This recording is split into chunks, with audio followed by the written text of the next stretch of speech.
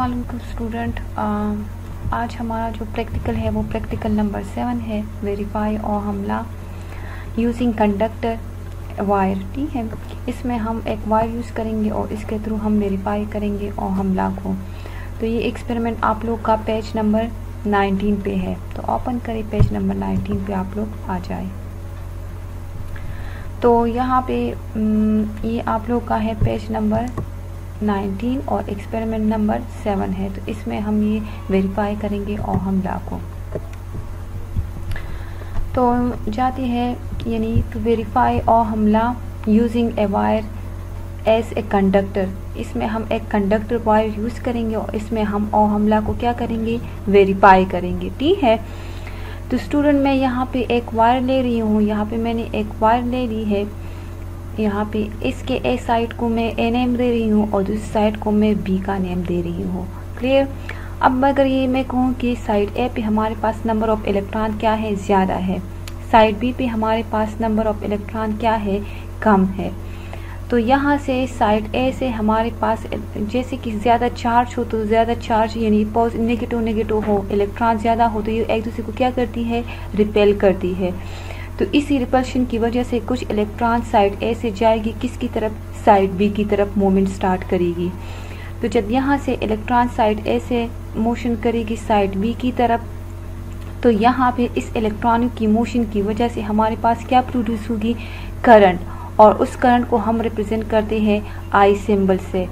तो यहाँ पे हमारे पास एक अनदर टर्म है, जिसको हम पोटेंशियल डिफरेंस कहते हैं कि एक साइड पे अगर चार्ज ज़्यादा हो और दूसरे पे कम हो तो उसको हम क्या कहते हैं? पोटेंशियल डिफरेंस और इसको हम रिप्रेजेंट करते हैं वी सिंबल से रिप्रेजेंट करते हैं।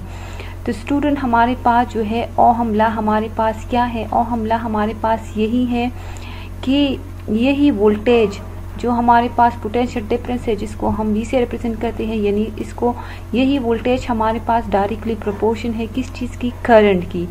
यानी जितनी पोटेंशियल ज़्यादा होगी तो इतनी ही करंट भी ज़्यादा होगी। अब यहाँ से प्रोपोर्शनलिटी हटाने के लिए हम कांस्टेंट लगाते हैं, जिसको हम आर कहते हैं, और ये हमारे पास क्या है? रेजिस्टेंट तो V is equal to R I अब यहाँ से आर की वैल्यू निकाली तो R is equal to V by I तो यहाँ पे हमारे पास इसमें और हम ला हाँ हम वेरीफाई करेंगे with the help of graph यानी इसमें हम यही देखेंगे कि अगर हमारे पास वोल्टेज इंक्रीज हो रही है तो करंट भी इंक्रीज होगी. अगर वोल्टेज डिक्रीज होगी तो करंट भी हमारे पास क्या होगी? डिक्रीज होगी. तो उसको हम क्या करते हैं? ग्राफ के थ्रू प्लॉट करते हैं. यहाँ पे इसमें थोड़ी सी मिस्टेक हुई है. वाई एक्सिस पे यहाँ पे हमारे पास करंट है और एक्स एक्सिस पे हमारे पास क्या है? वोल्टेज है. तो यहाँ पे हमने एक एक्सिस पे करंट लिया है और एक एक्सिस पे वोल्टेज लिया है। तो वोल्टेज की इंक्रीज के साथ साथ करंट भी हमारे पास क्या होती है? इंक्रीज होती है। तो इस ग्राफ में हमारे पास क्या होती है? एक लीनियर लाइन आती है। अब यहाँ पे हम ये कौन सी स्टेप में करेंगे? फ़र्स्ट वन हम लेंगे इसके लिए अपरेटिस उसके बाद हम लेंगे इसकी प्रोसीजर प्रोसीजर के बाद हम इसकी मयरमेंट करेंगे। मयरमेंट के बाद हम इसकी कैलकुलेशन करेंगे और लास्ट में हम निकालेंगे रिज़ल्ट कि आया हमारे पास इस वायर में रेजिस्टेंट कॉन्स्टेंट है या नहीं है, या वी और आई कौन सी रिलेशन है डायरेक्ट रिलेशन है कि नहीं है? तो ये हम लास्ट रिज़ल्ट में इसकी वैल्यू को चेक करेंगे। अब आते हैं इसके सर्किट की तरफ़।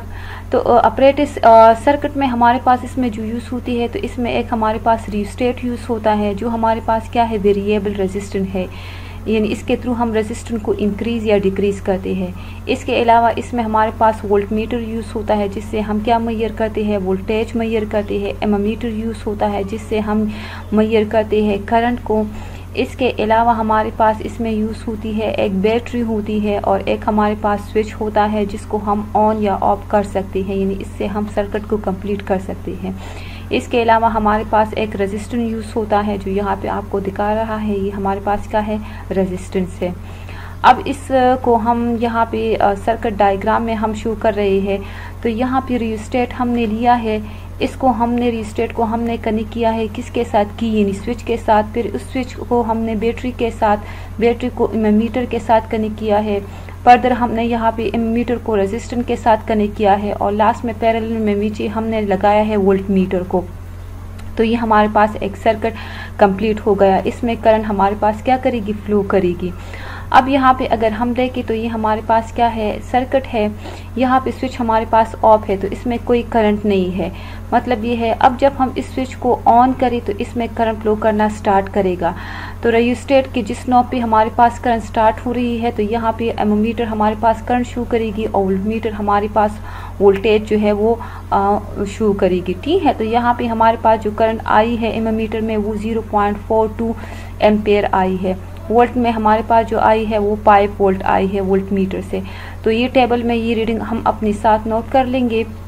तो यहाँ पे आपके पास ये टेबल है, यहाँ पे वोल्ट मीटर की रीडिंग आपको दिया है। वोल्ट्स में, यानी इसको हम वोल्ट्स में मैयर करते हैं, जो हमारे पास आई है फाइव वोल्ट्स नेक्स्ट वन हमारे पास जो है मीटर की हम रीडिंग लेते हैं, जो हमारे पास जो है एम्पेयर में मैयर करती है तो यहाँ पे हमारे पास जो मीटर में करंट की जो वैल्यू आई है, वो 0.42 आई है। तो ये हमारे पास मीटर की हो गई है, वो वोल्टेज की हो गई है। अब और हमला में हमारे पास R is equal to V by I जब इसमें हम पुटिंग कर लेते हैं तो यहाँ से हमारे पास 11.90 आती है। अब नेक्स्ट वन हम क्या करेंगे? रिस्टेट की नॉब को थोड़ा सा आगे कर लेंगे, यानी इसकी पोजीशन को चेंज कर लेंगे। यहाँ पे करंट को देखेंगे तो जो और वोल्टेज को देखेंगे तो यहाँ पे हमारे पास जो वैल्यू आई है, इसको हम नोट कर लेंगे और टेबल में लिख लेंगे। तो वोल्टेज जो है, वो हमारे पास फोर वोल्ट है करंट हमारे पास 0.3 पॉइंट थ्री एम्पेयर आई है। अब अगेन इसको फॉर्मूले में डाल दी तो यहाँ पे हमारे पास जो रेजिस्टेंस की वैल्यू आई है 12.12 आई है। अब फर्दर आप क्या करिए? रिस्टेट की नॉब को थोड़ा सा और भी आगे कर ली। इसकी पोजीशन को और भी चेंज कर ली। यहाँ पे हमने चेंज कर ली।